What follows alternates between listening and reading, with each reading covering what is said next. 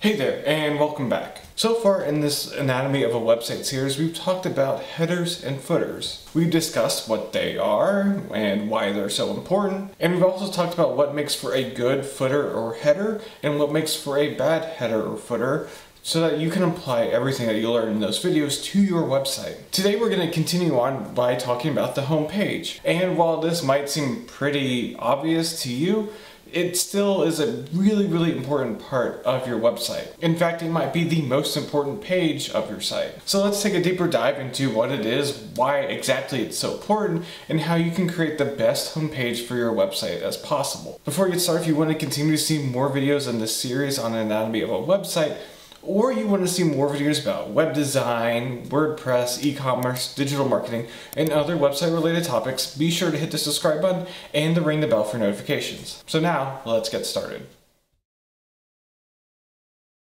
So, first things first, what exactly is the home page? Well, I mean, it is the home base for your website and really your business. People are going to get to your website through a lot of different avenues and land on a bunch of different pages, but for the most part, their first interaction with your business online on your website is going to be the home page. The home page tells people who or who your business is, what you do, and how you can help them. You probably will list out some of the services that you offer and potentially show off your latest and greatest work. Any good homepage will show what a business does and what it can offer its potential customers or clients. This is your best chance to make a great first impression, so keep it spick and span. You might not get another chance to impress a customer enough for them to stick around on your site. And in the case of a one-page website, which can be a pretty good option depending on your business or product that you offer, it's essentially your entire website.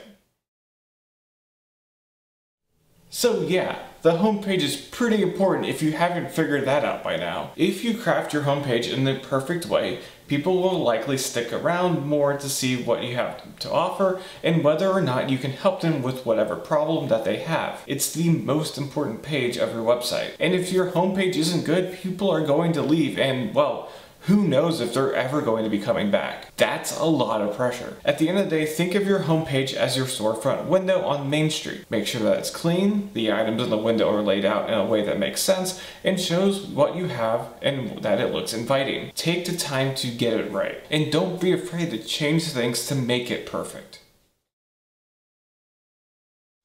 So now that we know what a homepage is and why it's so important, let's take a look at a bunch of different elements that you might have on your homepage. I do want to note that not all of these elements will have to be on your homepage. You can use whatever works best for your situation. The first thing you'll likely see on any homepage is a hero image or hero section. This is typically a large photo or color background at the top of the page that takes up the entire screen. It also probably has large catchy text to catch your attention or it might have the business's name and tagline and the logo. It might also have a small form to fill out like to learn more about the services the business has to offer or to get a lead magnet. Or it might just be a button to either take a user to the next section of the page or to another page altogether. Either way, this section should invite the user to continue through to the rest of the page. Remember, first impressions and all. Something you will most likely see on a home page and other pages is a call to action or two. Typically calls to action are buttons or small forms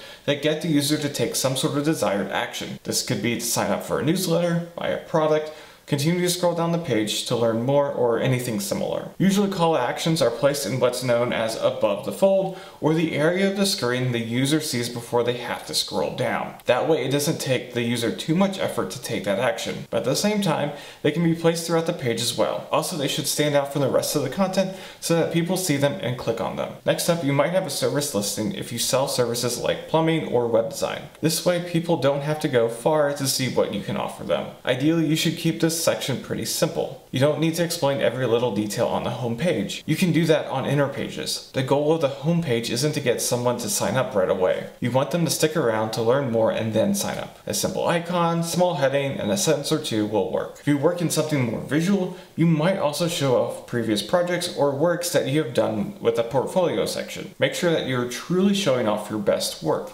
Again, first impressions do matter. This way people get a really good idea of what you offer and what you can do for them. Along these lines, if you sell products, You can show off some of your top products in the same way and have a button to see the rest of the store. Next up, it might be a good idea to list some recent blog posts as well, if you blog on your website. If you write about the topic or industries related to your business, it can help establish your authority on the subject and it might help someone realize you're the perfect person to help them. I would put these towards the bottom of the page because they aren't super important, but they might entice people to stay on the site longer. And you might want to limit showing the published date on blog posts just in case you have a stretch where you don't post a lot so it doesn't look like a stale blog to a new user. Also, you could have a newsletter sign up on the homepage as well. Email newsletters are a good way of keeping people engaged with your business even if they don't become become a customer right this moment. That being said, the homepage might not be the best place for a form, if I'm being honest just because you might want people to view a few more pages before asking them to sign up for something. But it is an option. I would just make sure that it's lower on the page and don't make it a pop-up or overlay, please. That's a great way to get people to leave your site. Finally,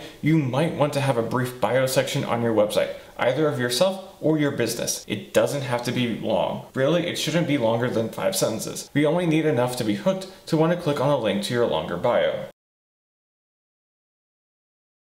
Now, in that last section, I emphasized call to actions and why you should have them on your homepage as well as the rest of the pages on your website. Why did I do that? Because call to actions are vital for your website. To make a long-ish story short, they are how people convert into customers or clients or accomplish whatever goal you set out for your website. They are the goal of your website. This is how your website helps your business. If you're selling products on your website, you want users to click the buy now or add to cart call to action on a product page. If you define the next step in your funnel to be someone to enter in their email so that you can send them more information about your services, you want them to fill out that form. Calls to action are what you optimize your website for. If your call to actions are clearly labeled and easy to see and easy to use and working well, well then your website is going to be helping your business. So take some time to make sure that A, you have call to actions on your website, not just the homepage, B, that they look well and that they work, and C, that they're in the right spot for people to click on them so that they can help your website and then ultimately your business.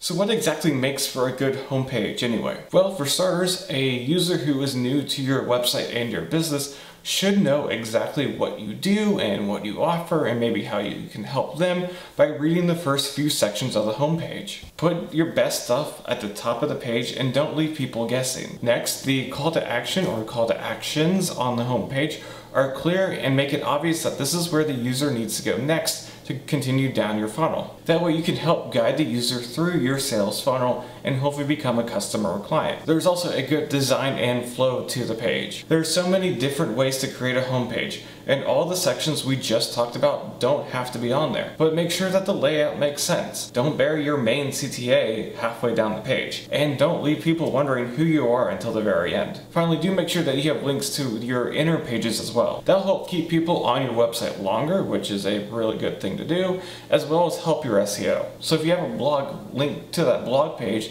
as well as some recent posts that you have. Or you can also have a link to your portfolio or bio or contact pages. In short, good homepage is one that makes sense, talks about what your business does, and invites people to learn more about the business.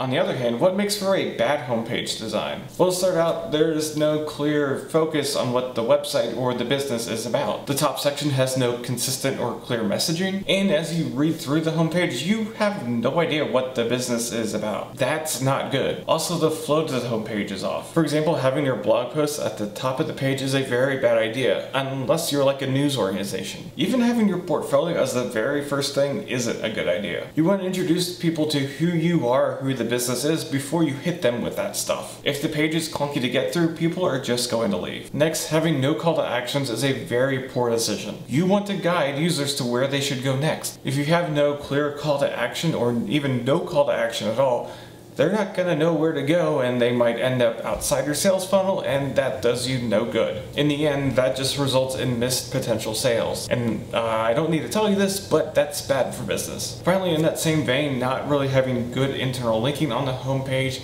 is going to be a really bad decision as people aren't going to stay on your website and that's going to lead to missed sales. Unless you're building that single page website that I mentioned at the top, you're going to need to link into those other pages so that people stay on the website longer. Otherwise, folks are just going to leave the site and who knows if they're ever going to be coming back.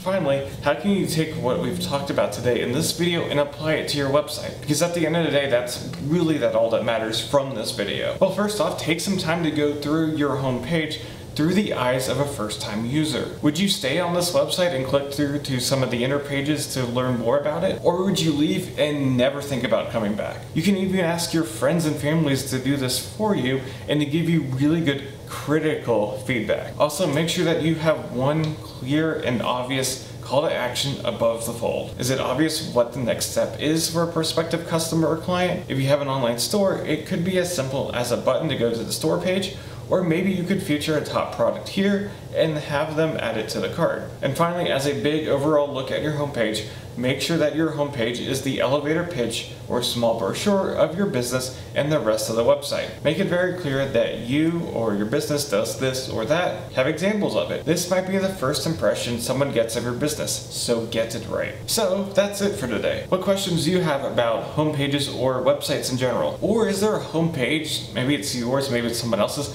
that you absolutely love? Or you can even link to your homepage down in the comments below so that we can all see what you've done. Be sure to leave everything down in the comment section below. If you're in the market for a new or first website for your business, I would love to help you get started and create a website to get your business online relatively quickly and for a price that should fit your budget. Check out the link in the description below for more information and to sign up for a free one hour consultation. Next time we'll be going over about pages and contact pages. To see that video and other videos in this series on anatomy of a website, as well as other videos on web design, e-commerce, WordPress, digital marketing, and other website related topics, be sure to hit the subscribe button and the ring the bell for notifications. But until next time, I wish you and your business the best of luck.